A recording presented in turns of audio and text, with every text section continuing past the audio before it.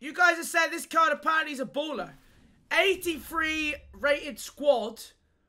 83 rated squad. Um, and one team of the week. I mean, look at those stats.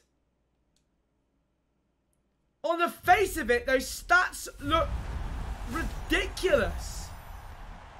Like, genuinely, genuinely ridiculous. 88 rated, uh, pronounce, pronounce, is it pronounced Kosu? I mean, I assume he'd be fodder, but like... Stats are looking tasty. 91 balance, 89 agility for a centre mid. He's got finesse shot, outside of foot shot.